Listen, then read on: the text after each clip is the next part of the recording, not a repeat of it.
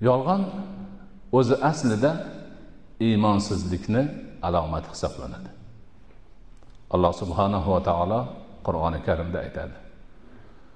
Alloh qur'onda bir yuz oltmish yetti oyatda yolg'onni yomonlagan. Turli holatlarda bayonini qilgan. Shu kazaba o'zagiga oid turli oyatlar kelgan. Shulardan bittasida alloh taolo aytadi أعوذ بالله من الشيطان الرجيم بسم الله الرحمن الرحيم إنما يفتر الكذب الذين لا يؤمنون بآيات الله وأولئك هم الكاذبون yolg'onni ollohning oyatlariga iymon keltirmaganlargina to'qiydilar deydi alloh taolo ana o'shalar xuddi shular yolg'onchilardir Ana yolg'on to'qish qur'on ta'biri bilan aslida iymonsizlarni ishi ekan.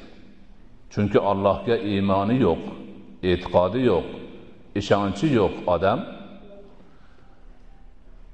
ollohdan qo'rqmaydi qiyomatdan qo'rqmaydi gunohdan qo'rqmaydi savob nimaligini bilmaydi xohlaganicha yolg'onni gapiraveradi. Mo'min bandachi allohga iymoni bor bandachi. Olloh mani ko'rib turibdi bilib turibdi eshitib turibdi har bir ishimni hisobini kitobini qilib turibdi degan e'tiqodli odam bo'lsa albatta yolg'on gapirmaydi. Yolg'ondan o'zini olib qochadi.